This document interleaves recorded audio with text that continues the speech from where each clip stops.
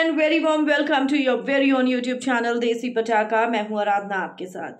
कहते हैं, कर्मों का फल यहीं पर मिलता है और शालीन के साथ कुछ ना कुछ ऐसा ही हो रहा है। फूट फूट कर रोया है शालीन। घर से बाहर निकलने के लिए तड़प रहा है शालीन। जी हाँ क्या शालीन घर से एलिमिनेट हो चुका है? मैं आपको वीडियो के ज़रिए दिखाना चाहूँगी कि किस तरह से शालीन के अब घर में कोई इज़्ज़त नहीं रह गई है लेकिन उससे पहले आप चैनल को ज़रूर सब्सक्राइब करें वीडियो को लाइक और शेयर करें। ये देखिएगा मैं आपको पूरा नहीं थोड़ा सा ही दिखाऊँगी। स्टार्टिंग का हिस्सा तो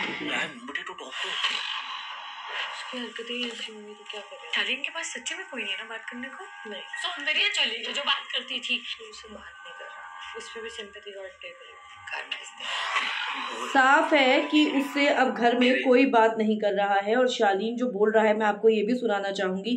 जैसे कोई पागल बोलते हैं मेंटल हेल्थ शालीन की खत्म हो चुकी है। यहाँ से रिफ्लेक्शन भी नहीं आ रहा। है इस एंगल यहाँ पे बैठ के ना वो कोई रिफ्लेक्शन भी नहीं आ रहा है। This is what I am मेरे को मैं डॉक्टर को बोल रहा हूँ मेरे को ये आईना नहीं समझ में आ रहा है। आई स्वेयर मैं इग्नोर कर रहा हूँ। और ये क्या मेरे बारे में बोल रही है वो?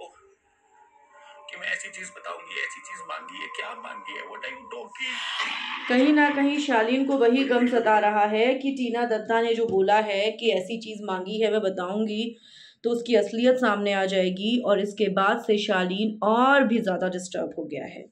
साफ़ है दोस्तों कि बिग बॉस के घर के अंदर शालीन के पत्ते खुल गए, सारे कार्ड्स खुल गए और अब उसकी वजह से भाई शालीन की जो एक्टिंग है, वो और ज़्यादा उबल रही है और ज़्यादा उछाल मार रही है और शालीन की एक्टिंग हम अब देख ही रहे हैं।